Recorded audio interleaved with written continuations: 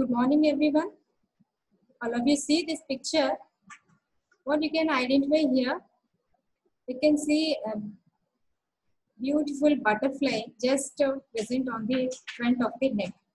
So in this way, we can see one important gland lies in front of the neck means as it lies in front of the trachea and this means in front and sides of the trachea. So now you can understand what is the structure. Yes, this is thyroid gland. See here, until it is normal, there is no any complication, but any slightest de de deviation in its function, what happen? It affects uh, means an unpleasant or uncomfortable means like a goiter. You can see here thyroglossal duct cyst, thyroglossal duct fistula, exophthalmos, cretinism, nodular goiter. So all these various conditions we can see in case of any deviation its function. Although the effects can be unpleasant or uncomfortable, most thyroid problems can be managed well if properly diagnosed and treated. So for which we should know a good enough knowledge about the thyroid gland. So the learner should know the following. So the development of the thyroid gland, structure, presenting parts, means various parts and relations. Relations are very, very important because each and every part of the thyroid gland is related to an important nerve or vessels. So we should have a good knowledge about the relations of the thyroid gland. Then what is the blood supply of the gland, lymphatic drainage, nerve supply, clinical aspects. So coming to the what is thyroid gland? As already uh, we know that what is the thyroid gland? It is an endocrine gland. So before that, endocrine gland means what are the glands? So what is the meaning of the gland? In our body, the group or clusters of cells, they are derived from the epithelium. Means these are the specialized epithelial cells. They are in secretory nature. So how these glands are developed? As we know, most of the glands developed by the proliferation of the epithelial cells, except those developed in mesoderm.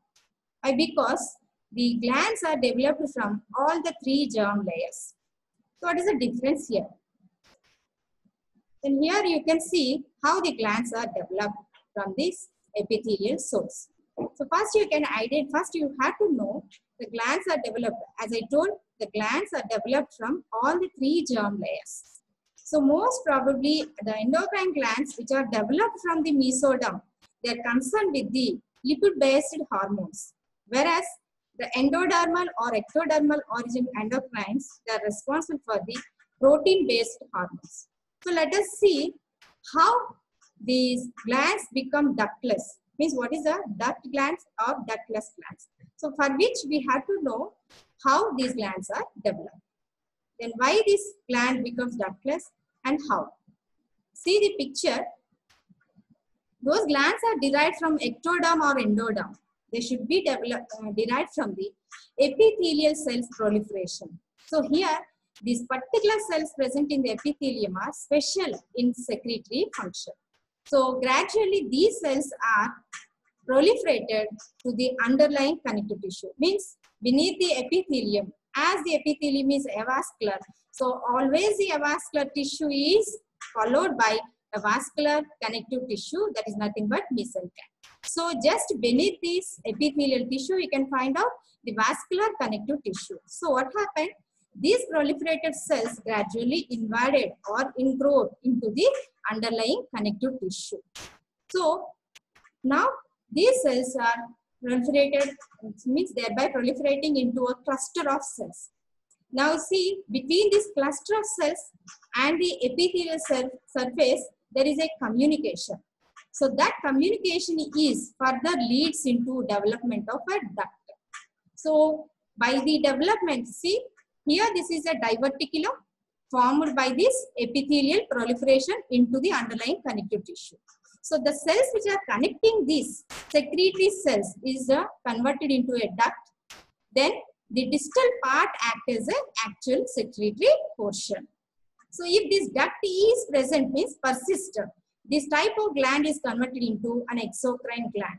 Means whatever secretions from this secretory unit poured onto the surface of the epithelium. So the action of this particular secretion is local in nature. Then the second kind of glands. So what are these glands? Endocrine glands. So how the endocrine are, glands are developed. You see here the communication between the secretory portion and the cell surface is the nothing but duct. Whereas in case of endocrine gland, what happened? This duct is disappears. So what happened? These group of or clusters of cells surrounded by this vascular connective tissue and these cells are secreting secretions directly into this bloodstream. In some of the glands, what happened? The cells are uh, means a group or clusters of cells, what happened? They are forming follicles. Here you can see in this picture, the follicles means the layer, single layer of secretory cells surrounding a cavity, which is known as a follicle. So we can see here two types of endocrine glands. One is follicular type of endocrine gland, whereas the cords of endocrine cells secretes their secretions into the bloodstream. So what is a common thing here? The secretions are directly poured into the bloodstream. Means here, why, what is the uh, importance? Why this duct is disappears? Because the secretion means from these uh, endocrine glands uh, act on a target cell which is away from the gland which is developed uh, region. So a little amount of uh, substances which are actually known as chemical substances otherwise called hormones which are in little amount but their action is in most of the cells means almost each and every cell of the body so the way only way through the through the bloodstream only these hormones or chemical substances are reaching the each and every target of the body.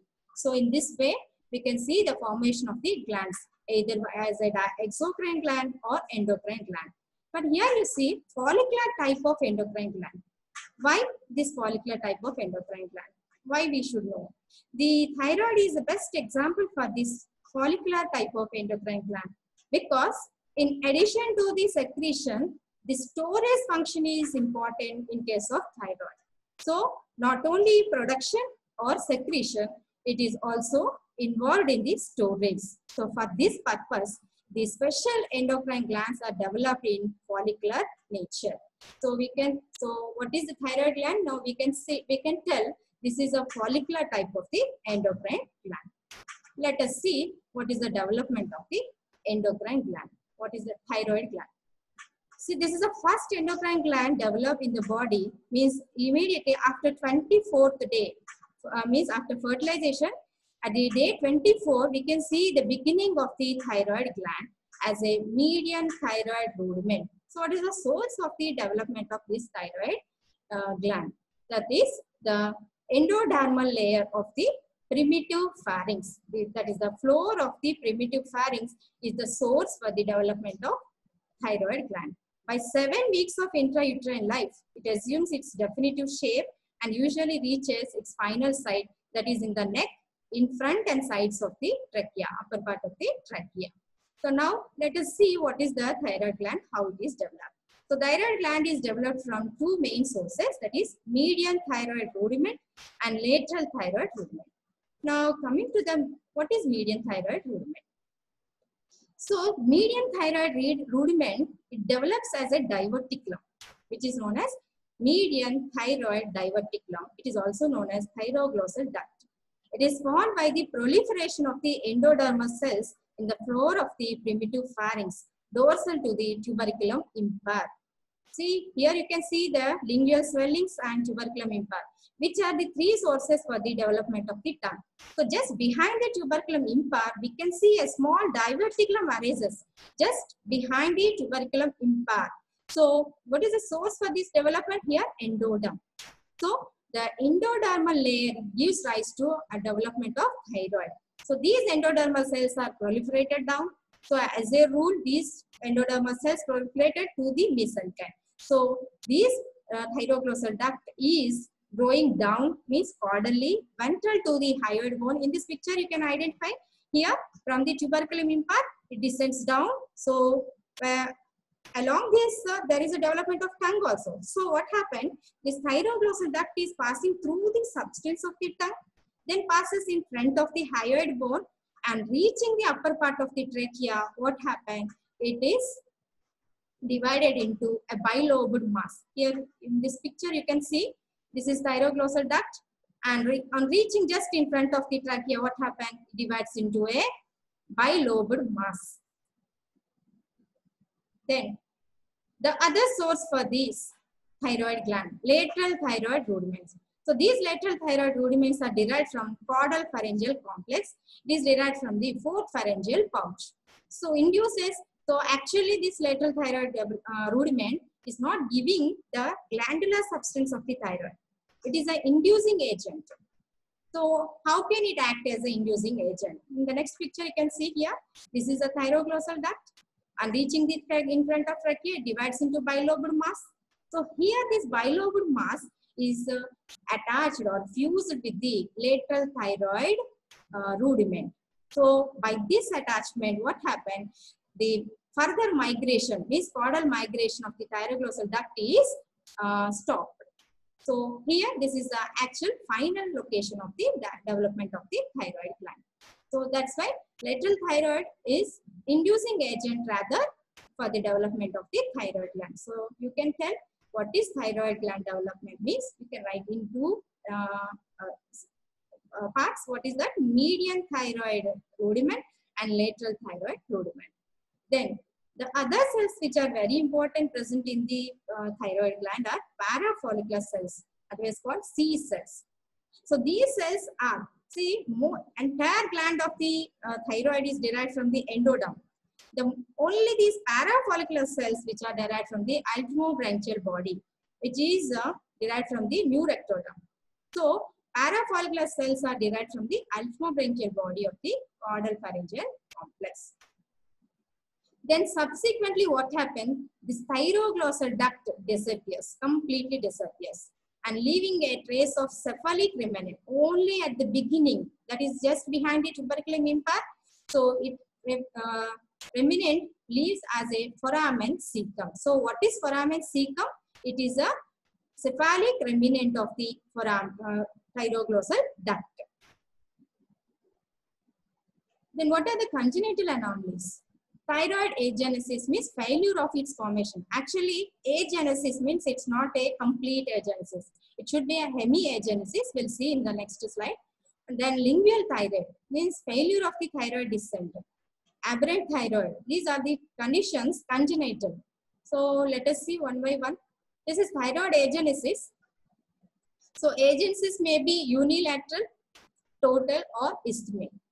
Isthmic means the isthmus of the thymus is absent. Unilateral means maybe one of the lobe is absent, like that. Then hemiagenesis is a rare congenital which may be inclusive one lobe of the thyroid gland fails to develop. Usually the left thyroid lobe is commonly involved than the right lobe in hemiagenesis. So these are the various conditions of the thyroid agenesis. Let us see what is lingual thyroid. So lingual thyroid means, as I told, the median thyroid rudiment, where it develops at the just behind the tuberculum impar. So this is lingual thyroid is one of the source, means exactly at the level of foramen cecum. So failure of the primitive thyroid gland to descend into the neck during the development leads to lingual thyroid. You can uh, identify this lingual thyroid. And sometimes intralingual thyroid may be seen, but it is very rare. So intralingual means within the substance. As I told, the thyroglossal duct descends through the substance of the tongue. So there is a chance of the lingual thyroid means intralingual thyroid. Then aberrant thyroid tissue. So along the course of the descent of thyroglossal duct, there may be a chance of the thyroid gland development. But here aberrant means outside. So accessory actually. So along this, what happened? The detached tissue along the path of thyroglossal duct act as a thyroid gland. Anywhere between the tongue and the thyroid gland. So means between the thyroid, axial position and tongue. Next, what is thyroglossal cyst? So during normal development, the entire thyroglossal duct is uh, disappear, but sometimes it may be means of persist in the form of a cyst. So along the course of the thyroglossal duct, usually it may be above the hyoid or below the hyoid, then just above the hyoid or below the hyoid. Then it develops anywhere along the thyroglossal duct through the cyst within the tongue or in floor of the mouth or brain. So as I told, along the course of the thyroglossal duct. So usually thyroglossal cyst, we can see just above the hyoid or below the hyoid, but not in the th tongue or in the floor of the mouth is very, very rare. So how can you tell the, by the examination this is thyroglossal cyst? So you should ask the patient by protrusion of the tongue. So while protrusion of the tongue, what happened? It moves up. So moving up and down. So that one can conclude this thyroglossal cyst is a remnant of the thyroglossal duct.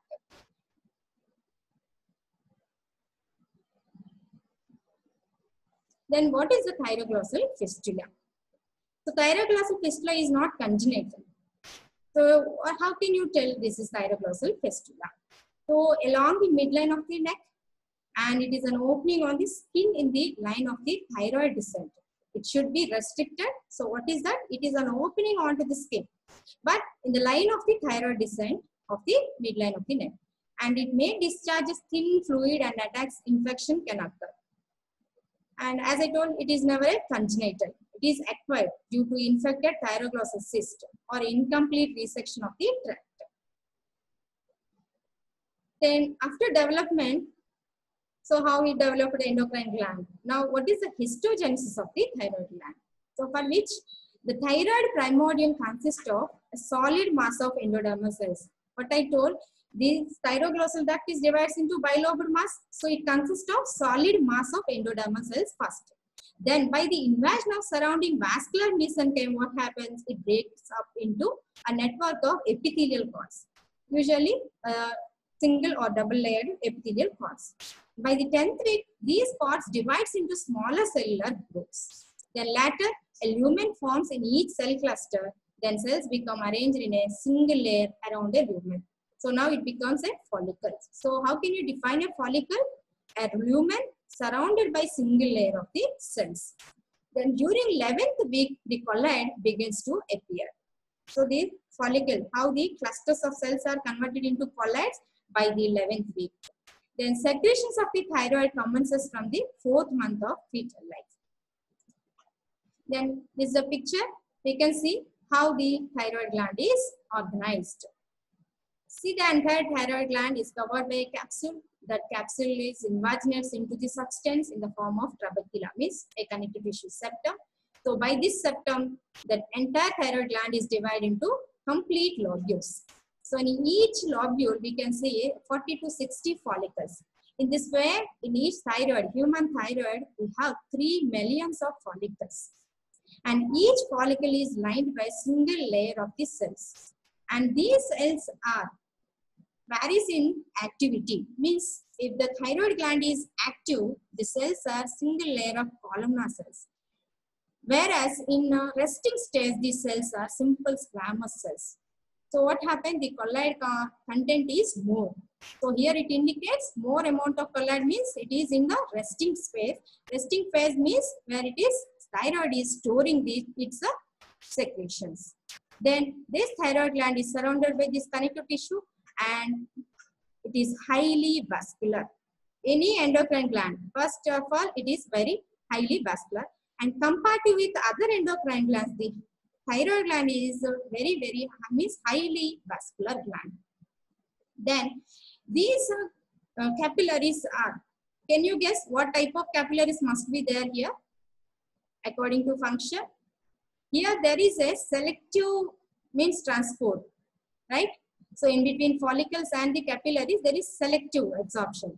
So there must be a fenestrated type of capillaries are present. So the thyroid is glandular tissue is surrounded always by the fenestrated type of capillaries.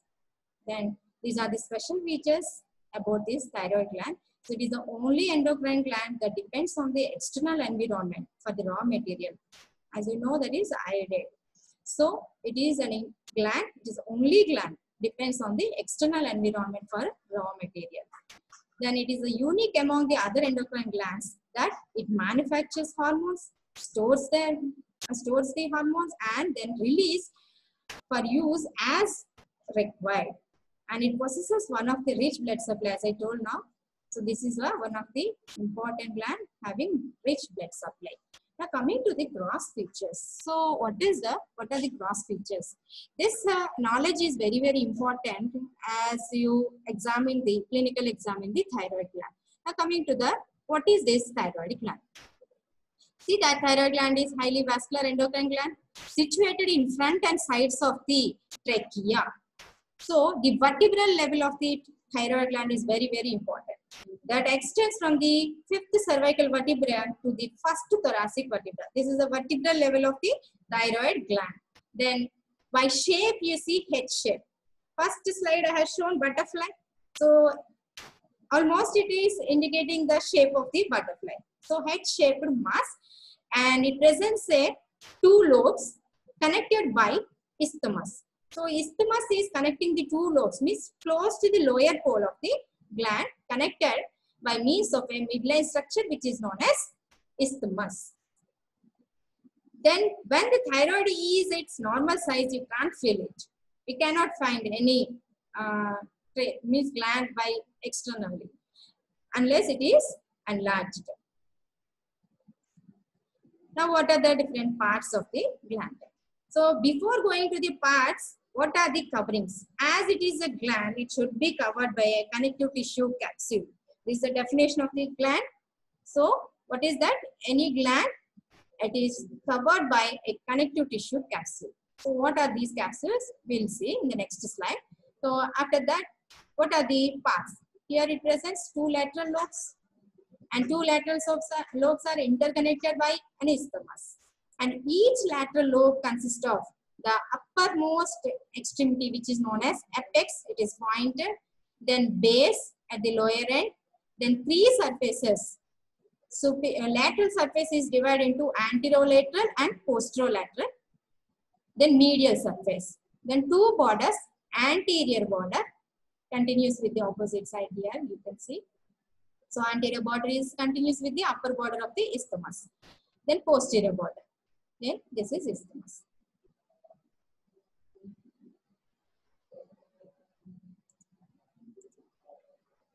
See this is the posterior view. This is the posterior border. Here this is anterior border, posterior border. This is lateral surface. Next, coming to the coverings of the gland. This is very important. See, the thyroid gland is covered by two capsules. The outer fascial capsule, which is derived from the pretracheal fascia. The pretracheal layer splits to enclose this gland and it forms the outer false capsule for the thyroid gland. Then inner true capsule. So as the name indicated, true capsule means it is derived from the condensation of this fibrous stroma of the gland. Because during development, it is invaginates into the connective tissue. So that vascular connective tissue covering this entire gland as a capsule. So what is that capsule is known as true capsule. Now coming to the false capsule. So false capsule is derived from pretracheal fascia. It splits and encloses the gland. So above if you trace what happened, the pretracheal fascia is attached to the hyoid bone. On either side it is attached to the thyroid cartilage.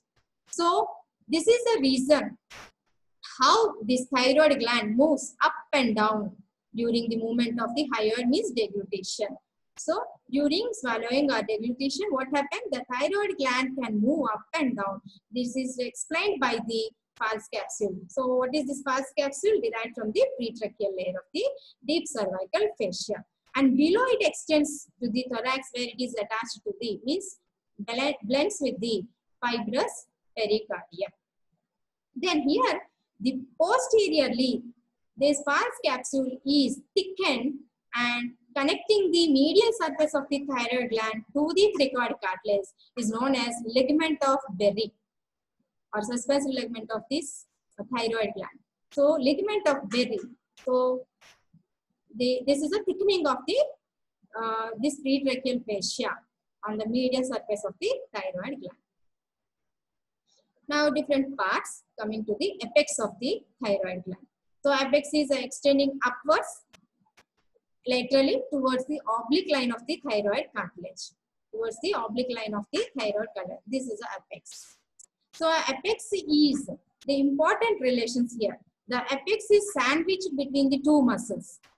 Inferior constrictor muscle, then superficially this is sternothyroid muscle. So the apex is sandwiched. That's why what happened, the enlargement of the apex of thyroid means the gland, it doesn't extend above because it is restricted at the thyroid uh, oblique line. Why? Because where the sternothyroid muscle is attached here. So in between two muscles, it is just sandwiched. So there is no further extension above this line. This apex of the gland, important relations. You see, close to the apex, one artery and a nerve are related here. So close to the gland, what happened? The superior thyroid artery passes superficial to the gland, whereas eh, this is a nerve derived from the superior laryngeal nerve. Superior laryngeal nerve divides into internal laryngeal nerve and external laryngeal nerve. This external laryngeal now is supplying the only one muscle that is cricothyroid muscle. So as these two structures are approaching the apex of the gland, they are diverging. So during surgeries of the thyroid, the ligation of the superior thyroid artery must be close to this gland. Means here these two structures are diverging. Means one is superficial to the apex, the nerve is deep to the apex. So that we can ligate this uh, vessel, means superior thyroid artery, uh, close to the apex. That's very important. Then enlarging of thyroid is tend to grow downwards and not upwards. So what is the reason? As the apex is sandwiched between the sternothyroid muscle and inferior constrictor, there is no chance of enlargement of thyroid extending upwards. This explained. But it may grow downwards, so leads to retrosternal goiter itself. Then what is the base of the gland? So base means the lower extremity of the lateral lobe. So here the important relations. The base is extends up to the sixth cervical vertebra. Here inferior laryngeal nerve and the loop of inferior thyroid artery. These are the two important structures related to the base. So on approaching the thyroid gland, these nerve and vessels are very much closer. So during thyroid surgeries, need have to take, so uh, we have to take care because before going to the ligate this inferior thyroid artery. So you should ligate this artery away from the gland because close to the gland, they are very much closer, accompany with one another. So we should ligate the inferior thyroid artery away from the gland. It's important. Then in thyroid surgeries, however, the recurrent laryngeal may be, nerve may be injured. So if a unilateral recurrent laryngeal nerve is injured, so what happened? So there is a hoarseness of the voice and we should know recurrent laryngeal nerve is supplying all the intrinsic muscles of the larynx except the cricothyroid that is supplied by the uh, external laryngeal nerve. As I shown in the first uh, previous slide, the external laryngeal nerve derived from the superior laryngeal nerve of the vagus nerve. So that external laryngeal nerve supplies only the cricothyroid muscle and rest of all the muscles of the uh, larynx supplied by the recurrent laryngeal nerve. So if at all there is a injury to this nerve during thyroid surgeries, so what happens if it is unilateral, there is a all the intrinsic muscles of that side in affected. So there is a loss of abduction and intact with the intact adduction by the cricothyroid because the cricothyroid is supplied by the external laryngeal nerve. So then vocal cord is assumed a paramedian position because the recurrent laryngeal nerve supplying the posterior cricoarytenoid muscle. That posterior cricoarytenoid muscle is opens the vocal cords. So if it is paralyzed, what happened? The position is paramedian position, vocal cords. Then voice is breathy, but compensation occurs through rarely back to the normal. And airway is adequate and may become compromised only with exertion. If bilateral recurrent laryngeal nerve injured, means both of the recurrent laryngeal nerves are injured, what happened? There is a difficulty in the voice production, even in the means breathing uh, difficulty also occurs. And the cord, two cords lie in the paramedian position. Now lateral lobes relations. The lateral lobe present three surface as I told. See this is a medial surface. This is lateral surface. And lateral surface further anterolateral and posterolateral. Here see the relations. The medial surface of the thyroid, lateral lobe of the thyroid is related to the important structures, two nerves, two muscles and two tubular structures. So here at the cricoid cartilage level, the larynx is continuous with the trachea, whereas pharynx is continuous with the esophagus. So these are the two tubes are related on the medial surface of the lateral lobe. And what are the two nerves are related? The external laryngeal nerve and recurrent laryngeal nerve. Then what are the two muscles are related? One is cricothyroid and the inferior constrictor muscle. Coming to the anterolateral surface relations. First skin, then in beneath that superficial fascia, then deep fascia covering these muscles. So immediately beneath the deep fascia, we can see the muscles. So here, the sternohyoid, sternothyroid, and most laterally, omohyoid. That is the superior belly of the omohyoid. So these are the muscular relations which are present on the anterolateral surface. Whereas posterolaterally, the thyroid lobe is related to an important structure that is neurovascular bundle of the neck. That is carotid sheath containing internal jugular vein and common carotid. In between posteriorly we can see vagus nerve. So this is an important structure related to the posterolateral surface of the lateral lobe. Then what are the borders? Anterior border. So you can see in this first picture that along the anterior border, before that, the superior thyroid artery on reaching the apex of the gland is divides into anterior descending and posterior descending. So that anterior descending branch accompanies the anterior border and appears on the upper border of the isthmus. So along the anterior border, the important relation is the superior thyroid artery. Then posterior border of the lateral. So the posterior border of the lateral lobe, we can see an important structure that is an anastomosis between the superior thyroid and inferior thyroid arteries. Moreover, the two other important glands are lies along this border between the two uh, capsules of the thyroid or outside the capsule, but they lie along the posterior border of the thyroid gland. So what are these structures? Parathyroid glands. So important relations. Coming to the isthmus. So what is isthmus? It is a connection between the two lobes at the lower part and it has an upper border, lower border, anterior surface, posterior surface. So the along the upper border, you can find out the anastomosis between the two superior thyroid arteries. This is important structure. And at the upper border, you can see a glandular projection, so which is known as pyramidal lobe. So this is a thyroid tissue extends from the upper border of the isthmus, which is known as pyramidal lobe. So what is this pyramidal lobe? It is uh, developed from the lower part, of, means the persistent lower part of the thyroglossal duct. What I told, thyroglossal duct entirely disappears. But sometimes it may persist and it leads into a development of the thyroid gland, means glandular tissue. So there it leaves as a pyramidal lobe. Then along the lower border, we can see the important vein that is inferior thyroid vein. And sometimes only we can see an important artery that is arteria thyroidea ima. These are the two structures are related to the inferior border. Then anterior surface, though other important structures, it just in, related to the muscles which are crossing the thyroid gland.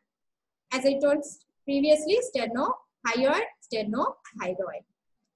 Then posterior surface. It is related to the second, third and fourth tracheal rings. So these are the relations of the isthmus of the thyroid gland. Now I told pyramidal lobe. So sometimes you see by the anomaly, there is no development of isthmus. So without isthmus, the two lateral lobes are developed. These are the various conditions, developmental. So here on the left lobe, we can appreciate this pyramidal lobe. In the lower picture, you see this is a pyramidal lobe extending from the upper border of the thyroid gland, isthmus of the thyroid gland. And here, this pyramidal lobe is connected to the hyoid bone by means of a connective tissue band. What is this connective tissue band? Which is known as levator glandulae thyroidae. But you should not confuse. This is not a uh, persistent part of the thyroglossal duct. Why? Because as it's a part of thyroglossal duct, in that tissue, what must be there? Glandular tissue. But in this levator glandulae thyroidae, we can't see any glandular trace. There is no a trace of glandular tissue. But what is there in this levator glandulae thyroidae? It is a just fibrous tissue containing a striated muscle. So that muscle along with fibrous tissue attached to the hyoid bone. So which is known as levator glandulae thyroidae. So what is the use of this band? Why it appears here? Probably it elevates the thyroid because as it is attached, if pyramidal lobe is there, it is attached to the pyramidal lobe. Otherwise, it is attached to the upper border of the isthmus. So this is a function, levator. Name indicates levator. So it is an elevator of the thyroid gland. Now coming to the arterial supply. What are the arteries that supplying the thyroid gland? Here, three sets of branches supplying, sorry, two sets of branches, which are superior thyroid and inferior thyroid arteries. So, this superior thyroid artery is a branch of the external carotid artery and it descends down towards the apex of the gland. On reaching the apex of the gland, here it bifurcates into anterior descending and posterior descending. The anterior descending is crossing the isthmus where it joins with the means opposite superior thyroid artery. So where it provides a collateral anastomosis. Then what is inferior thyroid artery? Inferior thyroid artery is branch of the thyrocervical trunk. Here it has a loop. Then on reaching the base of the gland, it divides into superficial and deep branch. So the deep branch is a anastomosis with the posterior descending branch of superior thyroid artery. So that anastomosis provides means an anastomosis between the superior thyroid and posterior inferior thyroid artery on the posterior aspect along the posterior border of the lateral lobe. Then an additional, it is a uh, means not in other uh, all persons, only in 10% of people we can see additional branch which is known as arteria thyroidea So why should we know what is the use and why what for it is there? Mainly this anterior thyroidema supplying the isthmus of the thyroid. If it is present, if you forget to ligate during thyroid surgeries, it may leads to profuse bleeding. So we should know there is another branch that is thyroid arteria thyroidea ima, which is at, related to the lower border of the isthmus. So we should ligate this branch also during thyroid surgeries. So from where it is coming? It is an artery derived from the common carotid artery on the right side or atria aorta directly or subclavian artery or internal thoracic arteries. So these are the various sources from the uh, from which the arteria thyroidea ima can take origin. Then what are the veins draining the thyroid gland? Three pairs of thyroid veins are there, superior, middle and inferior. So superior thyroid vein, but here the veins are not accompany the arteries. Why? Because the superior thyroid vein, it accompanies the superior thyroid artery, then it passes lateral to the superior belly of omohyoid and drains into internal jugular vein. The middle thyroid vein, it is essentially parallel with the inferior thyroid arteries, but it is in, uh, drains into the internal jugular vein. Then inferior thyroid veins accompanies the lower border of the isthmus of the thyroid where it drains into brachiocephalic vein. And uh, additional vein sometimes may be present, which is known as Kocher's vein. So what is this Kocher's vein? If it is present, it drains the base of the lateral lobe of the thyroid and it drains into the internal jugular vein. So just I want to recall and relation to capsules, the other gland also important. Where these veins means the, the uh, trunks, superior thyroid and inferior thyroid artery, they are anastomoses between the two capsules. Means first capsule and true capsule. But the what happened to these veins? So veins means from the capillaries which are just around the glandular tissue. Means forming the venous plexus. These venous plexus are lies deep to the true capsule. Whereas in case of prostate gland, the venous plexus lies in between the false and true capsules.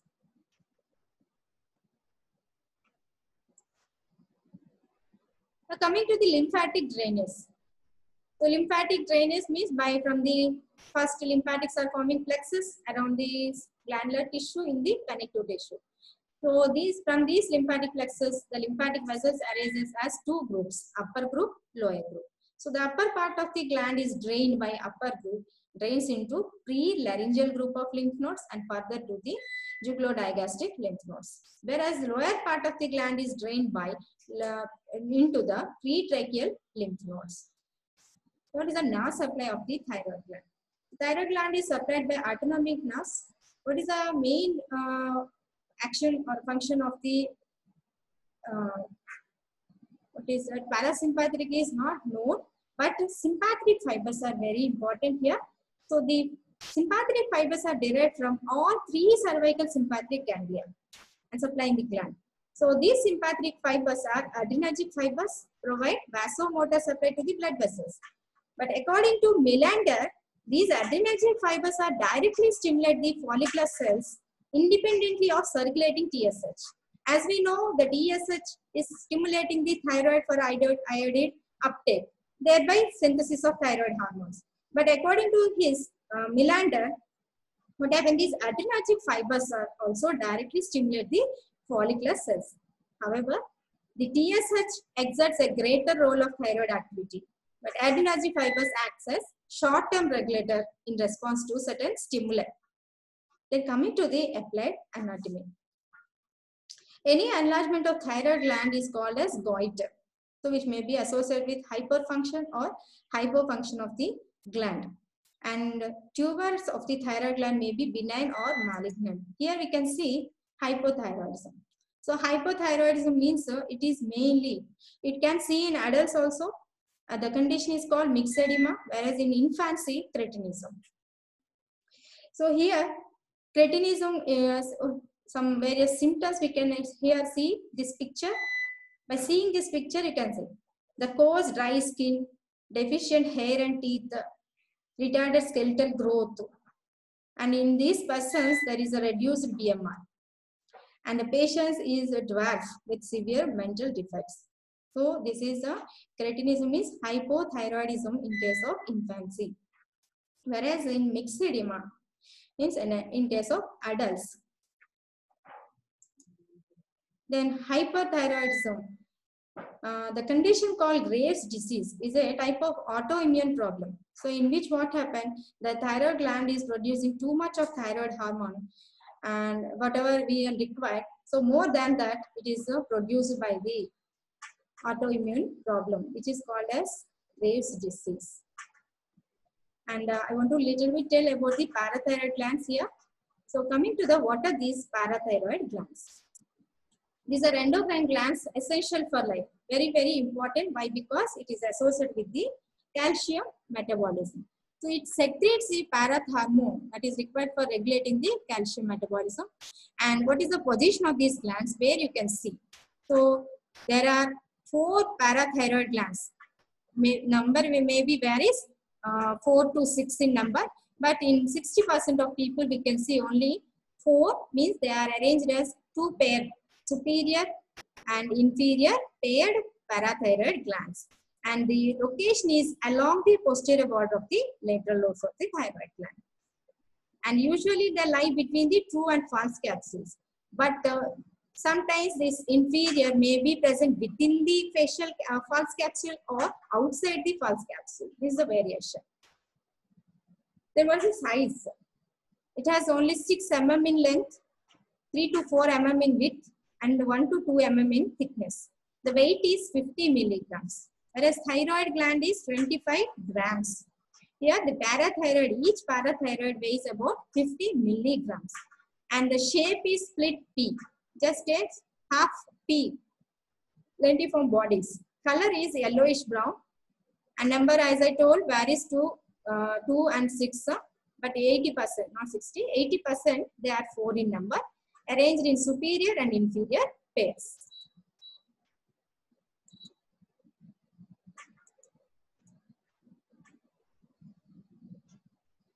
Coming to the development of these parathyroids.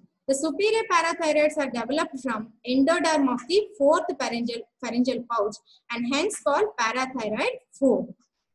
Here, this is derived from the pharyngeal pouch 4. Whereas inferior parathyroids are developed from endoderm of the third pharyngeal pouch in common with the thymus. But we are telling derived from the third pharyngeal pouch, but in name is given inferior. Why? Because it is developed in common with the thymus. As the thymus is descended, means due to caudal migration of the thymus, the parathyroid 3 occupies the lower position than the parathyroid 4.